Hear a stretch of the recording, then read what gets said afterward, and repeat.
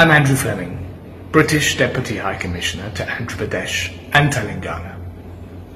Today is International Doctors' Day. It is also today that the Andhra Pradesh state government have chosen to launch a new fleet of over a thousand ambulances, which will create 9,000 new jobs.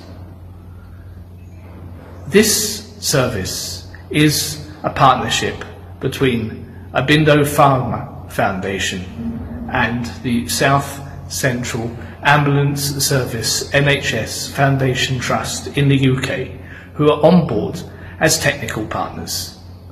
I am really excited that this is a new area for India. I'm convinced that it's something that's going to be a success, and I congratulate Honourable Chief Minister Jagan Mohan Reddy for his foresight in choosing this approach and a partnership with UK experts.